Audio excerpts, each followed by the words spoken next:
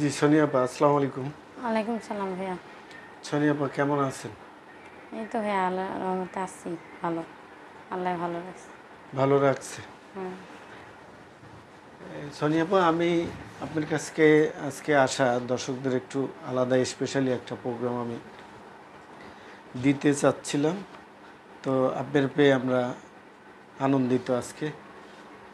তারপর দুঃখের সাথে বলতে হয় আমাদের দেশে হারিয়ে যাওয়া লোকজনের আপনি একজন সোনিয়া হারাই গেছিলাম আমার বাবা মা মানে নাম রাখছিল সোনিয়াই। আচ্ছা। মানে আমি অতটুকুই জানি আর কি সোনিয়া। একটুকু হ্যাঁ। মানে হারিয়ে গেছেন কবে নাগাদ কি আশায় বিষয়? আমার বয়স যখন সাড়ে চার বছর ছিল তখন হারাইছি।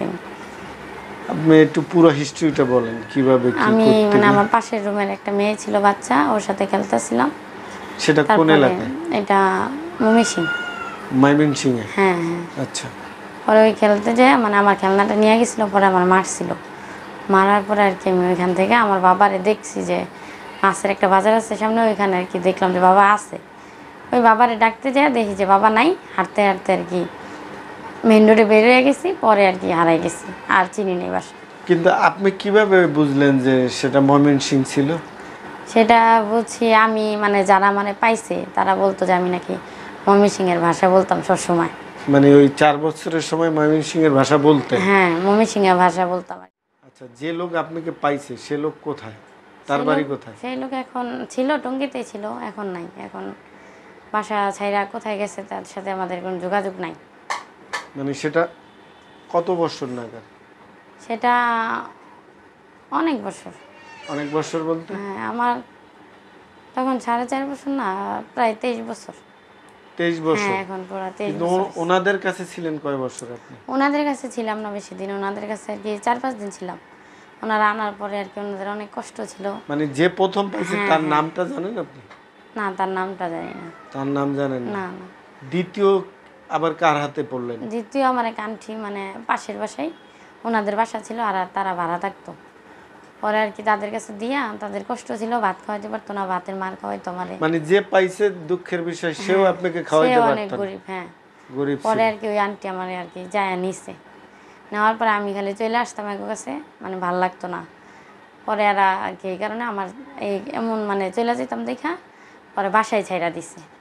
যে আমাদের কাছে আইসা পরে ওইখানে দিয়া দিছি তাহলে বাসা ছাইরা দিই। পরে বাসা ছাইরা যে গেছে আর যোগাযোগ নাই তাদের মানে প্রথম যে লোক পাইছে সে হ্যাঁ। তার বাসায় রাখছে ঠিকই কিন্তু খাওয়াইতে পারেনি।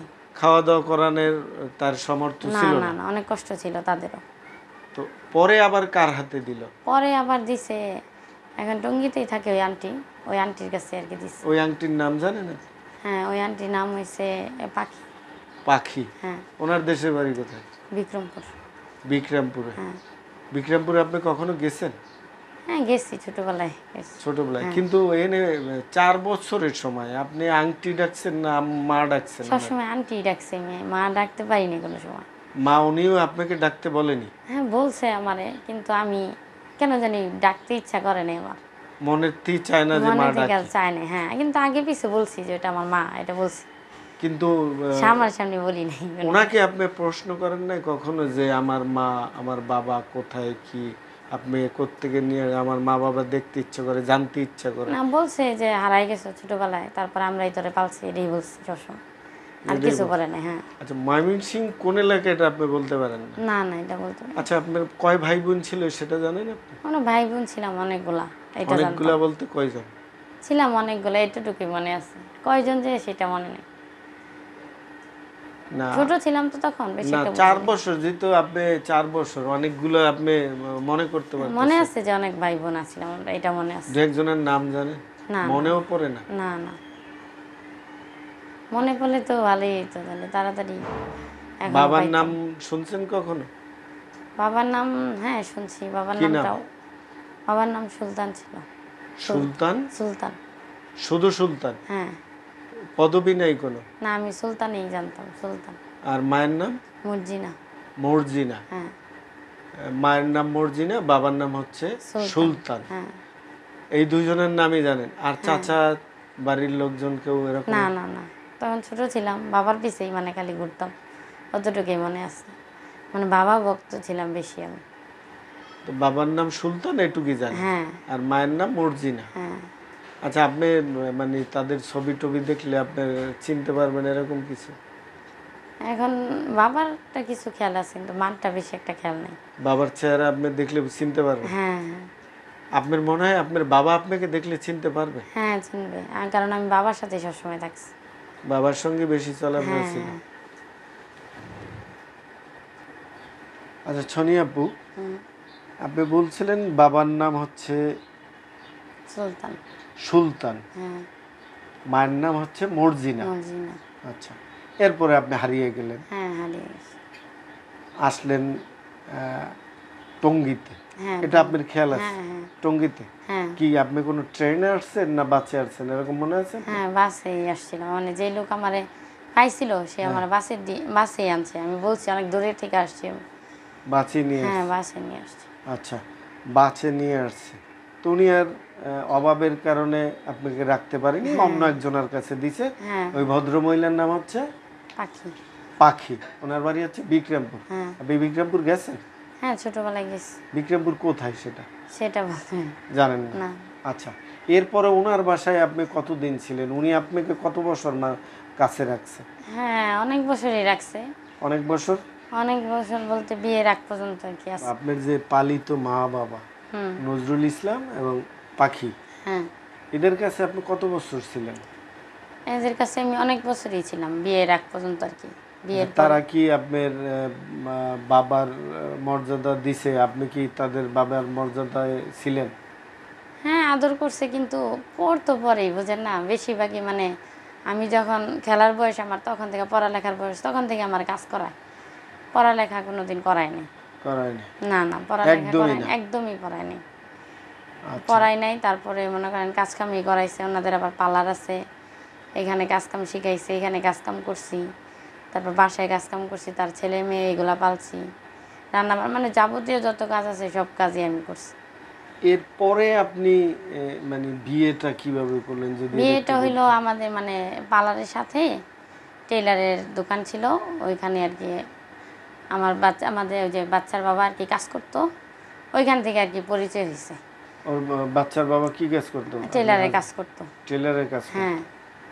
টেলার ছিল ওই যে আপনার পালিত বাবা ওনার? না এই সাথেই ছিল আরেকজনের ইয়া ওইটা। মানে যে বাসায় থাকতেন বাসার কাছেই ছিল? হ্যাঁ পার্লারের কাছেই আর কি টেইলারের দোকানটা। ও আচ্ছা। ওরা ওইখানে কাজ করতো ওইখান থেকে আর কি সম্পর্ক হয়েছে তার সাথে। সম্পর্ক হওয়ার পরে আর কি আন্টিরা জানছে জানার পরে মানে তারা রাজি নাম কি? আপনার জামাইয়ের নাম কি? মোহাম্মদ অনিক। মোহাম্মদ অনিক অনিক কোনো ছবি আছে না? না না। কোনো ছবি নেই? না না। আপনার লাগেও কোনো ছবি নেই? না না ছবি টবি নাই সব ছবি ছিল ছবি ডিলেট হয়ে গেছে। মানে এমনি অনেক দিনের কথা না না। এমনি তখন আগে তো মোবাইল টোবাইলও ছিল না ছবি উঠাইনি বিয়ে হলো কয় বছর হয়েছে? বিয়ে হয়েছে বারো বছর। কত মানে কত সালে বিয়ে হয়েছে আপনার? কাবিন টাবিন আছে? সেটা তো বলতে পারতেছি না। কাবিন আছে আপনার? কাবিনে আছে কাগজপাতি এসে মানে আমার এমন এমনভাবে বিয়েটা হয়েছে আপনার কাজী দিয়ে বিয়ে পড়াইছে বাড়িতে না আর কি। আমার চাচা শ্বশুর আর কি উকিল হয়েছে তারাই আর কি সব কিছু সাক্ষী টাকি কাবিনের কাগজ আপনি পাননি? না আমার কাছে এখনও দেয়নি ওনাদের কাছে আমার দেখাইছে একবার। কত ওনাদের টাকা কাবিন। করছেন বেশি করে নাই তখন পঞ্চাশ হাজার টাকা। পঞ্চাশ হাজার টাকা? হ্যাঁ অল্প একবারে। আচ্ছা ওই আপনার জামাইয়ের নাম হচ্ছে অনিক হ্যাঁ। অনিক বাড়ি কোথায়? টাঙ্গাইল। টাঙ্গাইলে? হ্যাঁ। গ্রামের বাড়ি টাঙ্গাইলে। আপনি গেছেন কখন? হ্যাঁ ছয় বছর ছিলাম। টাঙ্গাইলে? হ্যাঁ। এটা কোথায় টাঙ্গাইল? টাঙ্গাইল আপনার ইয়া মধুপুর আছে না ওইখানে মদিপুর হ্যাঁ। আপনার শ্বশুরের নাম কি?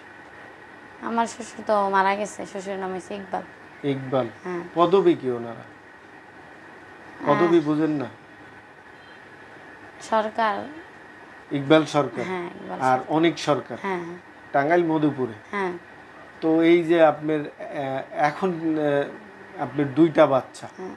তো দুইটা বাচ্চা বিয়ে হয়েছে বারো বছরের মধ্যে দুইটাই মেয়ে? হ্যাঁ দুইটা মেয়ে। তো এই দুইটা মেয়ে হওয়ার পরে আপনি কতদিন সংসার করলেন? ছয় বছর তো ওখানেই রইলেন বাচ্চা দুইটাই কি আপনার টাঙ্গাইলে আপনার শ্বশুর বাড়িতে হয়েছে? অনেকের বাড়িতে? হ্যাঁ হ্যাঁ টাঙ্গাইল হইছে। দুটা বাচ্চাই অনেকের বাড়িতে হয়েছে? ওই বাড়িতে হ্যাঁ। আমরা আলাদা ছিলাম ওইখানে। মানে দেশেও মানে দেশ হ্যাঁ দেশে যখন ছিলাম তখন কি ভাড়াই ছিলাম। একসাথে ছিলাম না আমরা। কারণ একা বিয়ে করছি সবাই একটু রাগ ছিল। যখন আর কি শুনছে যে আমার বাবা মা নাই তখন সবাই মাইনা নিচ্ছে তারপরে এরকমের মানে আজকে এই পরিস্থিতি কেন? পরিস্থিতি হয়েছে আমার বাবা মা নাই তারপরে মনে করেন সবাই তো চায় যে শ্বশুর বাড়ি থেকে কিছু পাইবো আশায় থাকে যে কিছু একটা করব। আর ওই সামর্থ্য তো আর আমার নাই আমার বাবা মাও নাই আমি টাকাও দিতে পারব না। এই কারণে আর কি মানে একটা মেয়ের সাথে রিলেশন করছে সম্পর্ক কইরা। সে নতুন বিয়ে করছে? হ্যাঁ করছে। সেই বিয়ে কোথায় করছে? সেটা জানি না। কোথায় করছে জানেন না। সেটা যে করছে সেটা আমি জানি না পরে শুনছি। বিয়ে করছে নারায়ণগঞ্জ। নারায়ণগঞ্জ? হ্যাঁ।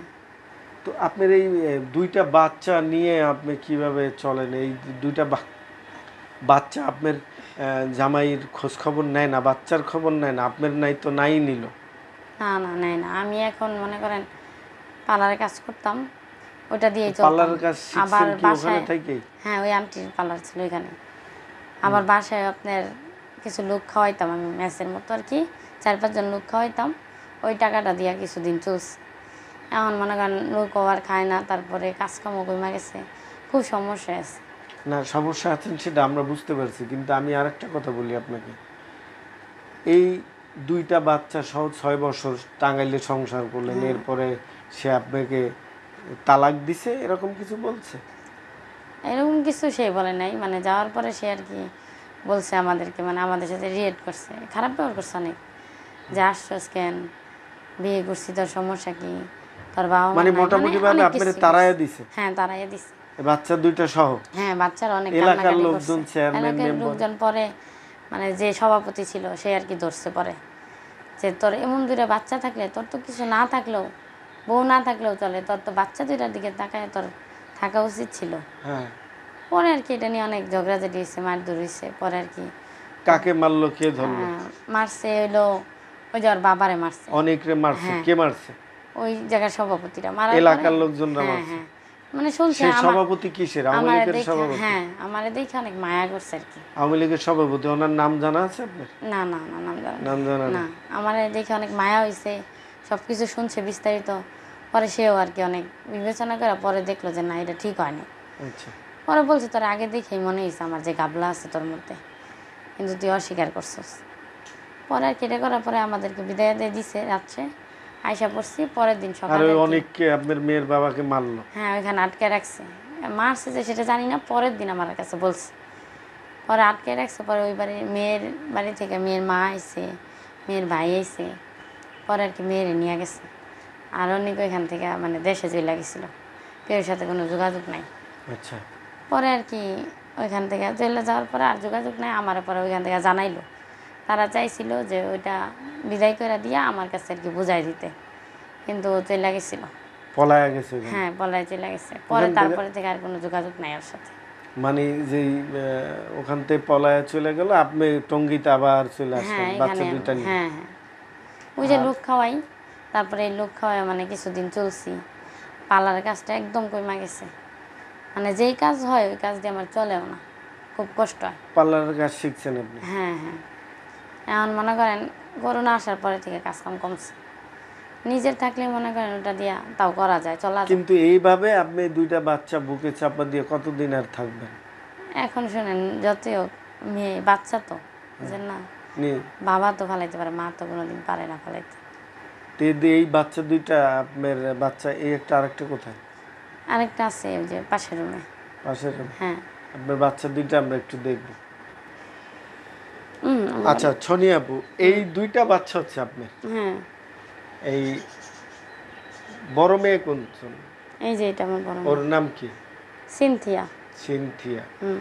আর এই ছোটটার নাম? অর্পি। অর্পি। দুজনই মাদ্রাসায় পড়ানো হ্যাঁ হ্যাঁ। আচ্ছা। এই মাদ্রাসায় পড়ানোর মানে এই খরচ আপনার নিজের খরচ কীভাবে চালান আপনি? ওইটাই চালাইতে খুব কষ্ট হয়ে যায় মানে যতটুকু পারি দেই আর কিছু বাকি থাকে তাও হালত করে দিই আর কি। এই যে এখন কালকে পরীক্ষা শুরু হয়েছে হালত করে এখন বেতনটা কোনো রকম দিচ্ছে ওইটা এখন দিমু যে ওই টাকাটা আমার হাতে নাই। মূলত আপনার আয়ের উৎসটা কি? আপনি কি কাজ করেন? ওই যে পার্লারে কাজ করতাম এখন কাজটা হ্যাঁ একদম কম এখন একবার বসা। একদম কম। হ্যাঁ। কাজ নেই। হ্যাঁ কাজ নেই। আচ্ছা আম্মু তোমার নাম কি বলো একটু? সিনথিয়া। তোমার বাবার কথা মনে পড়ে? বাবা কখনো ফোন দেয় কথা বলে? দাদু বাড়ি চিনো তুমি? বাবার বাড়ি চিনো? দাদু পাশে চিনো বলো। তোমার বাবার বাড়ি চিনো তুমি? বলো হ্যাঁ। চিনো? যাইতে ইচ্ছা করে না? হ্যাঁ? যাইতে ইচ্ছা করে না? তুমি কেমন আছো? ভালো আছে। ভালো আছো। তুমি কোথায় পড়াশোনা করো? মাদ্রাসার নামটা বলো। উম্মে হাবিবা। উম্মে হাবিবা। পুরাটা বলো? উম্মে হাবিবা রাদি আল্লাহ তালানহা মহিলা মাদ্রাসা। আচ্ছা এই মাদ্রাসা মানে মাদ্রাসায় কিসে পড়ো তুমি? ওয়ানে। ওয়ানে। আচ্ছা। তুমি তোমার এই বাবার কথা, তোমার এই যে পাশে ছোট্ট একটি বোন আছে তোমার, তোমরা দুই বোন একই সঙ্গে মাদ্রাসায় পড়ো। তো এই তোমার বাবা কথা মনে পড়ে না তোমার? বাবার কথা মনে পড়লে কি করো তুমি?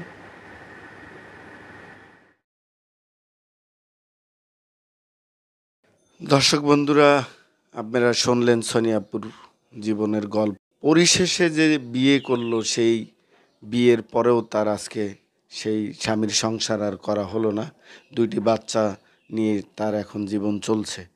তো বন্ধুরা, আমি একটু আপনাদের কাছে অনুরোধ করব সে হারিয়ে গেছে। সে হারিয়ে যাওয়ার গল্পই তার তুলে ধরা হয়েছে। কিন্তু আপনাদের সহযোগিতায়, আপনাদের নিয়েই আমি ধনিয়াপু যে কথাগুলি বলছে, সেই কথাগুলিতে বিভিন্ন রকমের প্রশ্ন তৈরি করছে। যে কথাগুলি বলছে, সে কথাগুলি আমার কাছেই প্রশ্নের জায়গায়, কিন্তু আমি ওরকমের ওনাকে প্রশ্ন হয়তো করিনি। আমরা একটু যাচাই করার চেষ্টা করব। আর একটু বিষয় বলে রাখি বন্ধুরা, আপনাদের কাছে আমার বিশেষ অনুরোধ, এই প্রোগ্রামটা আমি দীর্ঘ টাইম করতে চাই। আপনারা যদি আমাকে সহযোগিতা করেন, আমার পাশে থাকেন, অবশ্যই আমি সামনে এরকমের প্রোগ্রাম আরও করব। হারিয়ে গেছে যারা তাদেরকে নিয়ে